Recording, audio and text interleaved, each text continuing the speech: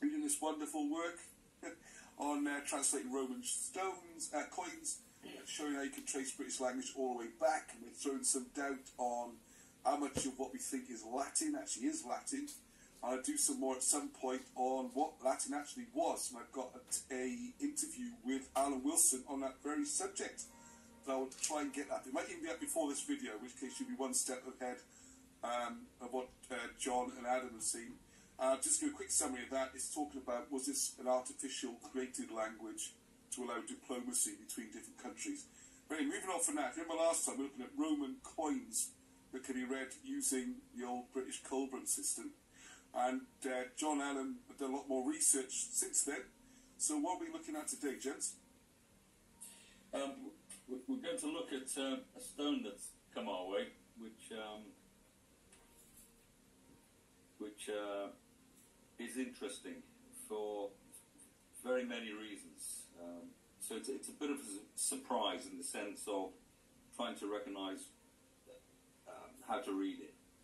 Okay. So um, it, it, came about it came about uh, by talking to Monika Escobar, who, who lives uh, in the region above uh, Lake Constance there, and um, we, have been talking about the British connection, the Welsh connection in, in the area, and she she's posted um, presentations on, on the group before now on um, uh, St. Gloric, and uh, she's posted items to do with the, the, names in the region too. So there's there are interesting things like names which have uh, uh you know that, that uh, Welsh uh, sound. we certainly found one which was Mont Arvon which is in one of the uh, mountains. How you spell Arbon? Uh, Arbon is uh, A-F-O-N, so it's Oh, Avon, right, that's the Avon, yeah, right, So it's literally mountain river, and there was a, a town called that in a valley uh, off a large river, called something else, but essentially the, the town was called uh, Mountain River. Oh, cool.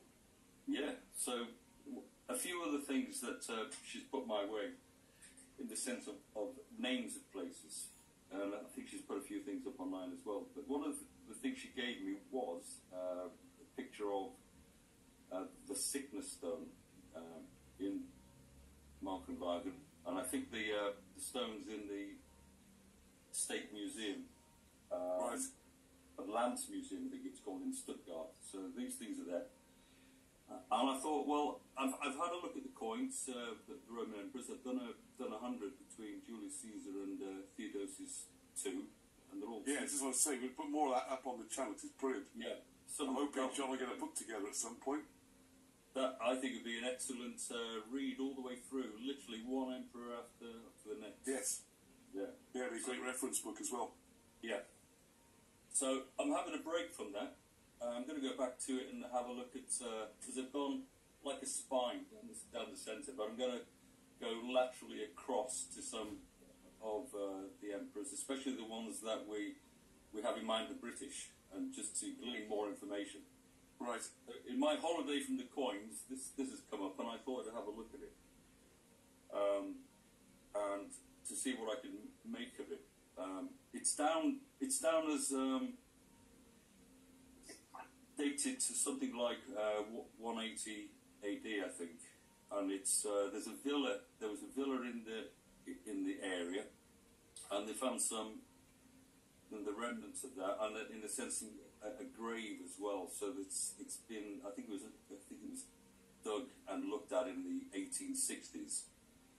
So they, they looked at it, they got the grave goods out, and we can show those pictures. Uh, should we mosey on Yeah. to so these things turned up? Oh, brilliant. And where?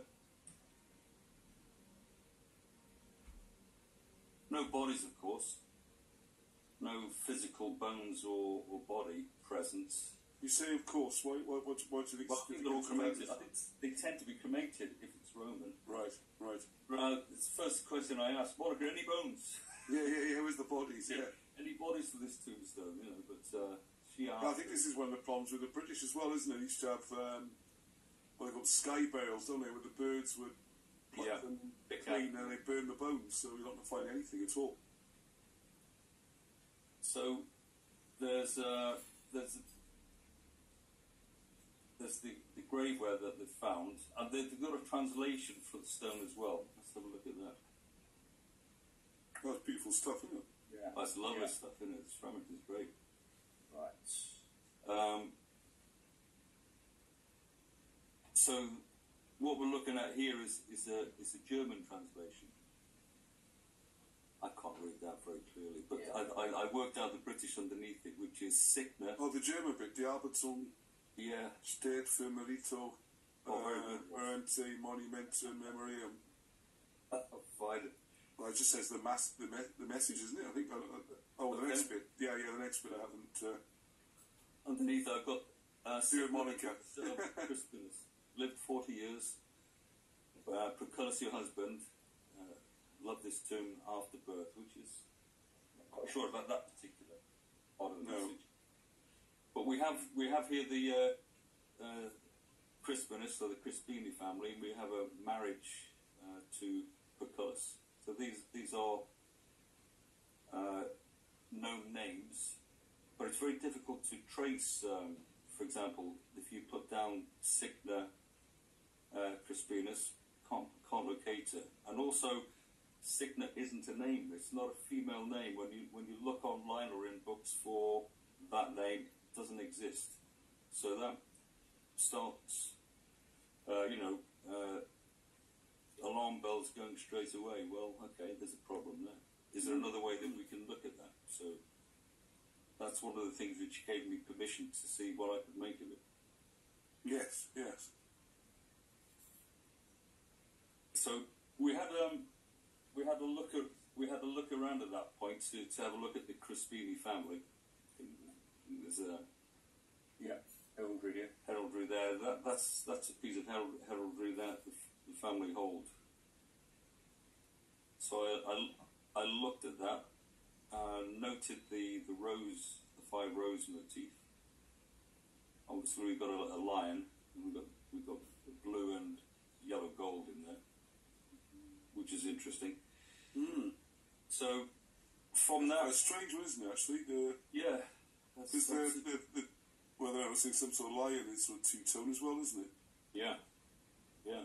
That's that could be uh, that that could connote um, joint joined lines, perhaps half one line, half another. But the motifs are there, and in a sense, the the, the, the leaf motifs that are there are on the stone itself. So if you look at the lettering, um, if you go back to the stone head, Yeah. We've got the, you see the four lines there. There, there are spaces in between some of the lettering. We get this kind of leaf motif. Oh, gosh, yes, yeah, yeah. Now you So in, I that's can tied see in it. Oh, too, that, that seems to be possibly tied in with, with one of the motifs of the family. And we do see the name there, uh, Crispini. Could be, could be, yes. Yeah, so that's that's um, that's telling. So obviously, I used those leaves as break marks when I took the four lines and, and divided the, the words to um, into chunks, as it were, to, to have a go at. Um, we'll go back to that. Yeah. Anyway, go back to the, the family, uh, they seem to be connected to the. Uh, let's go back to that last slide. Uh, Let's this up.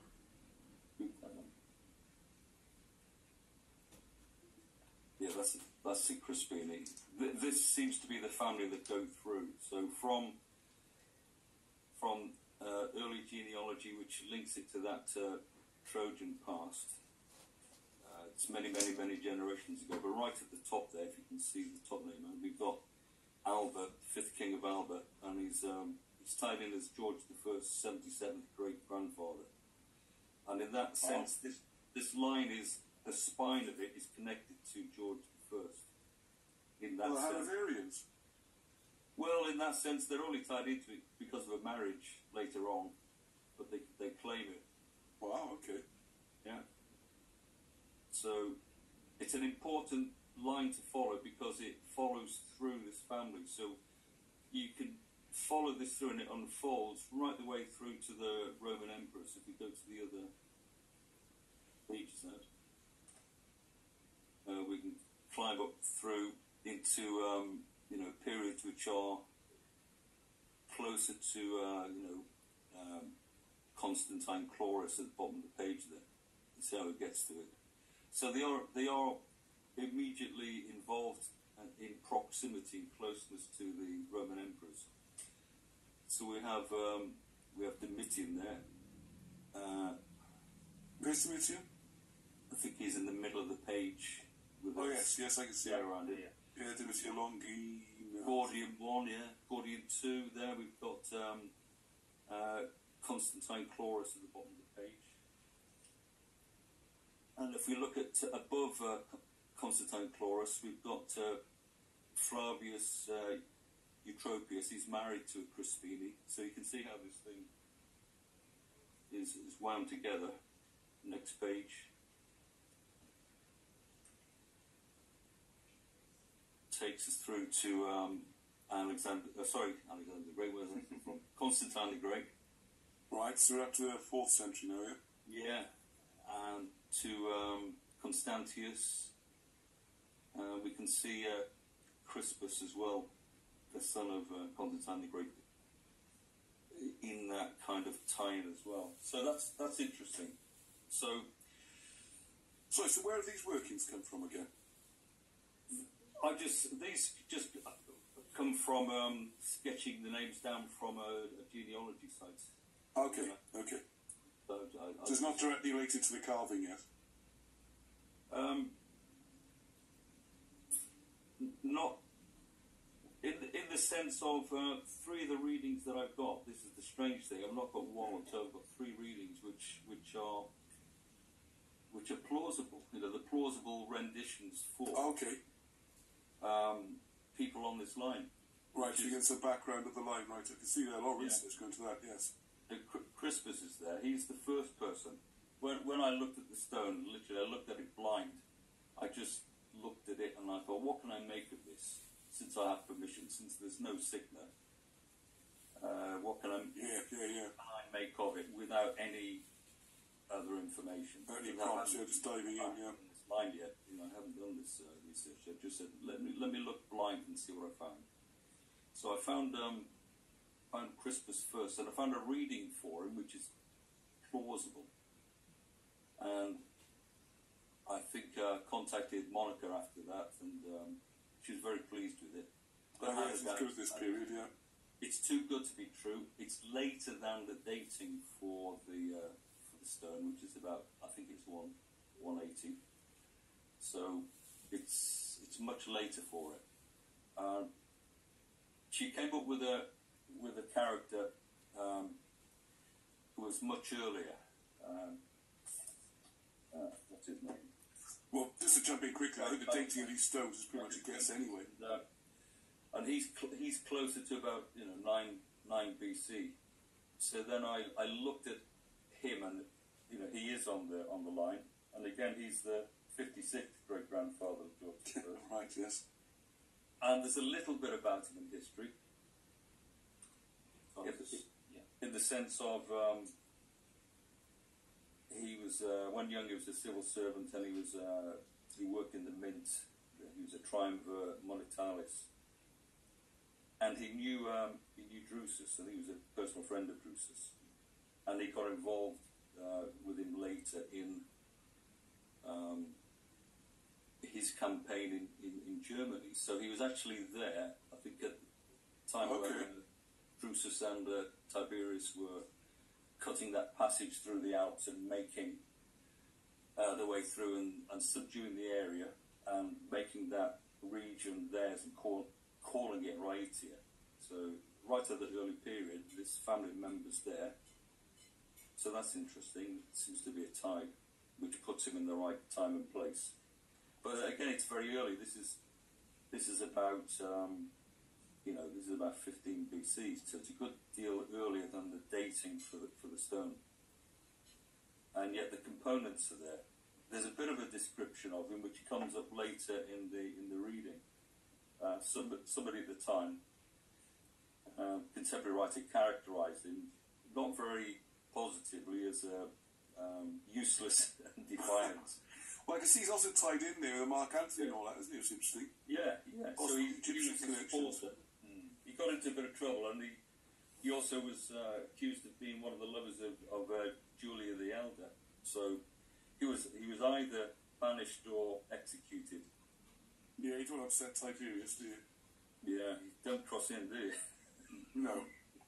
So that that story's there, and and curiously, in considering the word hoard that we've called, we can actually we can possibly get that narrative out too, which Wow. is really strange.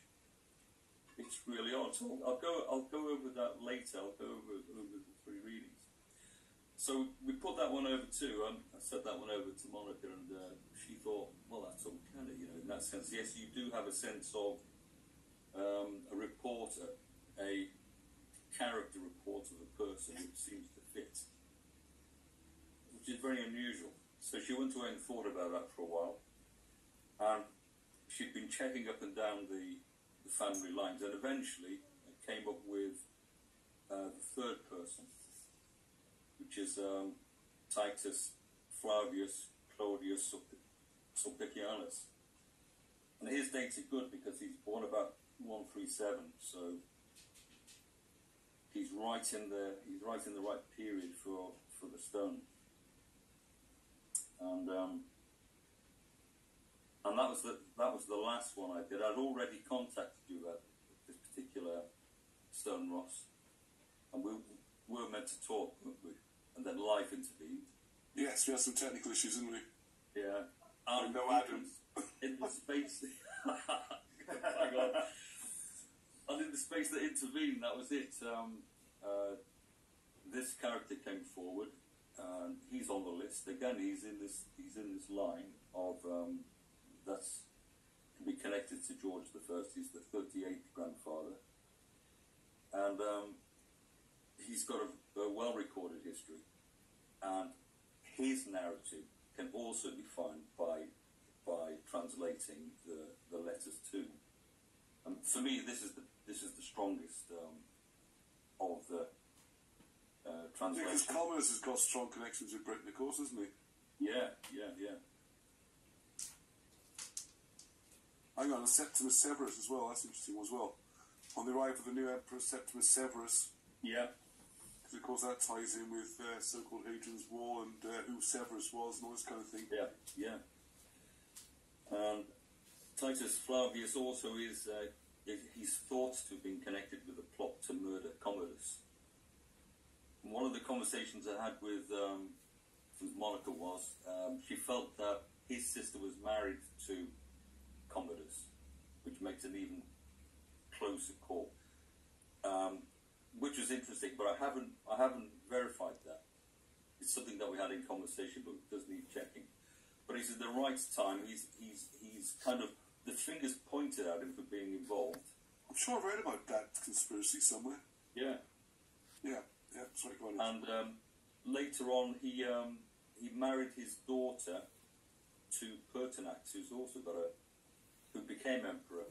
And right, okay. and there's another British connection with, with Pertinax, if I'm right. So this gets ver- this gets very close. After, after Pertinax died, there was another struggle for power, and it looked as if um, it looked as if Titus Flavius was offered he made an offer to the Praetorians, but uh, a higher offer came in from Julianus, and they took his uh, money, and he was made emperor. Um, it's funny old after business how they appoint to these emperors, isn't it? yeah, it's funny, right? How much money have you got? Well, it makes me think of what was happening in the 18th century when they brought in William and then they brought in uh, Hanoverians and Yeah, yeah. Who wants it? how has someone else has got the right to choose, you know? This is the funny thing. And how much power does the top man actually have? mm, yeah, yeah.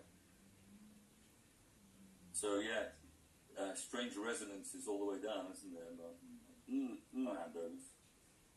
He didn't survive the, the following emperor's um, uh, accession, though, because he supported uh, the other guy, Clodius Al- Albinus, and uh, he was taken out in case he might be in a bit of trouble.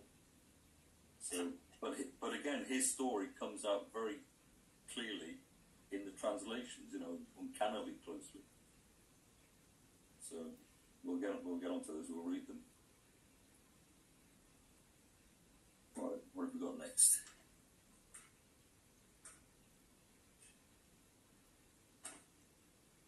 Right. First thing I did was to um, work on the Latin. Right, so you're going back to the stone now, yeah? Translation Yeah. of stone. Okay. So, essentially, there are four lines the which divide the text, and obviously the the leafing uh, gives a kind of interval in. So that's the main interval, in which you gave on a hard line. And where I felt there might be a, a break within that or a sub break, I gave a dotted line. So these, this is how I looked at it. All right, okay, okay. So hard lines, there's a definite gap, and the dotted lines, your suggestions we gaps. Yeah, these things suggest, or, or they seem to suggest themselves. You know, what can I do with that? So Okay. From that, I, from from those possibilities, then I broke down the word board. I, I, I found what I could. So all of the things with um, and Sick, the the C can be G. That opens up another sense. So it's very like the Welsh in that sense. You can you can use it, and that gave me other possibilities. So Signantia and so on and so, forth. Uh, sig- signatio. It just breaks it open. You've got another possibility. If we break the signa in two, obviously we've got uh, dagger, we've got sicarius, we've got murderer. And we've got na, which can give us narrow or tell, narrate. So you begin to get the options on possibilities. And that works all the way through. I don't want to go through every word here because I think people online can stop the film and have a look at things and Yes. quietly, quietly go over it and uh, come to some mind of it. But the first thing I did was the first one I called forward, reading it was um, was Crispus, and what what seemed to come to mind, Ascari, that's what I was thinking of when you mentioned that. Sicarius. Ascari, wasn't it? yeah, It's to do with daggers and uh, the Bible and stuff. mm. No, sorry. So I, I found I, I went through and felt for possible narrative. So it, it, it essentially is feeling your way through. So I got this narrative for Crispus, which was marking the sign of the cross. Brandish hostility, Flavius Julius. Christ affirm, Christ he speaks. Family of the people used to the sea greatness. So that that um, seems to fall into all sorts of associations for the idea of um, the, the, the the British line and the, the Christ line, and the uh, the relationship with the, um, the the Trojan history too. Wow. There is a certain. Uh, Yes, marking the sign of the cross. Well, um, Crispus, like his father, was, was taught by the lead Christian scholar of his day. The Christian movement was coming through. He may have actually come through earlier than we think. If he's uh, if he's presenting the sign of the cross and uh, and uh, properly associating with it completely, he's taking the cross with him on his journeys into into that region. Uh, and the, and Crispus did go into that region uh, after the Alani had taken it over about um, 260. The Romans went out there to reassert their authority and to um, yeah, yeah. There's a there's a piece about that which Monika sent to me to kind of back that up that section there around 260, the Alemanni finally overran the entire border wall and conquered upper Germany. So they're they're they're busy um, asserting their claims to the area, and uh, the Romans the Romans had to reconsolidate um, later. So this matches in a sense with that tussle for the for the for the, the for the ground.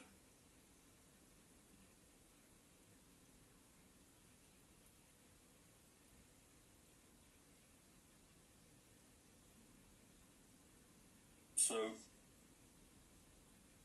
it, appears in that the affirmation with Christ, uh, and then he speaks family of people used to see greatness. That could very well be likened to an association with the British, an association with, with the Christ family, and with identification with it. And if you wanted the Holy Grail, in a sense, for finding backup for the for the British claims, this stone in your dreams could possibly possibly be it. So it's um, you know it's a it's a it's a bit of a wow this one. So it's it's there. It's there as a you know as a conjectural reading. It's there as a possibility. So that Yeah, it stands out as much as the other one does because there doesn't seem much to prop up the mainstream version of it, there? yeah no. Because prop is a thrust or a drive, it says here. Just looking at some of the words as we, as we go along. Yeah, there, there are there are possibilities. There are other ways you can nuance it.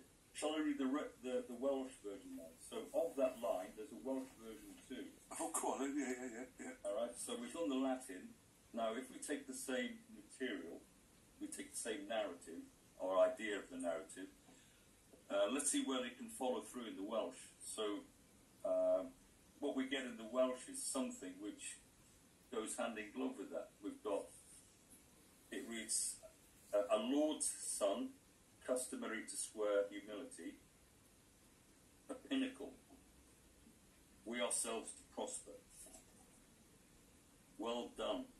Welcome, great company. Well, uh, welcome, a bleak range, a step of placing going to maintain to make war. So, as a statement, that that- really does feel like support for the Latin idea, and in the, in the sense of um, uh, a pinnacle or a force or a great wave of power in that sense at the time of uh, Constantine the Great and his son. That seems to that seems to um, follow. It seems to to be a, a happy um, uh, meeting. Yeah, yeah, I'm with you, yeah. We have at the beginning, you know, uh, customary to swear humility. We might have a reference to the uh, uh, a new. So, can, can you check which, which dictionary did you use mostly for this? I used the the uh, 1688. Okay. I used the uh, the 1806, and the the latest one I used was the The uh, same ones that I've got here, then, right? 1861. Yeah, Little red Yeah. one, and then uh, that's the one. Yeah, the big printout ones from Gian. yeah. I've got I've got the slightly earlier one than that. Um, I haven't got it handed, Ross. It's Yes, the. Salesbury one as well, isn't it? 1588. Well, this one with Jones. The whole bunch here. Yeah. So I've got I've got three dictionaries, Ross. Oh, that's the earliest one, I think. The Salesbury one, isn't it? Yeah, I've heard of that one. There's not many words there, unfortunately. We just go back supposedly to 5080s, I think. Got this sort of layout.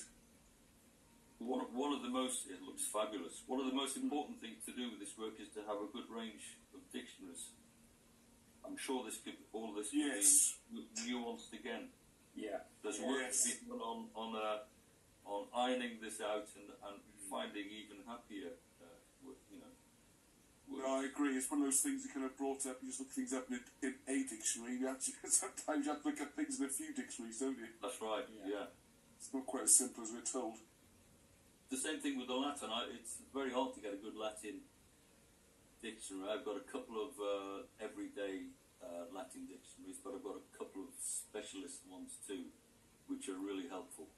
So I've had to go between the four Latin dictionaries. So So how, how, how consistent are they, these Latin ones? How often do they think there's conjecture about words or different views? Or is it like, this word always means that? Is it, how, how firm is it? there's there's um they, they, they tend to agree, but there's always th- th- there are other suggestions or extensions. So they tend they tend to hold together, but there are things which aren't there and the things which are there. So I think you're happy to have a you know as many dictionaries as you possibly can. Just look at look at a word. So yeah, that's part of the issue is having a good good dictionaries and having a range of them. And teasing out the uh, teasing out the possibilities. Obviously, the older the better. Yes, yes, I agree with that. So I've got proc here as well as um, a thrust or a drive. So that's really, Yes, that's nice. that would Yeah. come up in there, wouldn't it? Yes.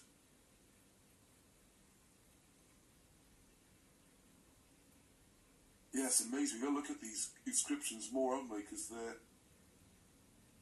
Well, I, I, it's really interesting. I've, I've got to put it up. I, it's only an audio conversation because I was taking Alan his breakfast and he was still in bed. But it's very interesting his view that the Latin is a sort of uh, artificial construct. Yeah, it, it, it, it, it, really might be, in a sense, a, um, a bridge.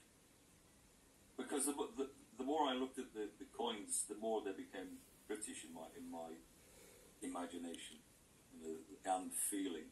The Latin, the Latin dissolved and they began, they began to feel flexible to the British. And I noticed when, when there were when there were letter shapes which were ambiguous and could be one thing or another.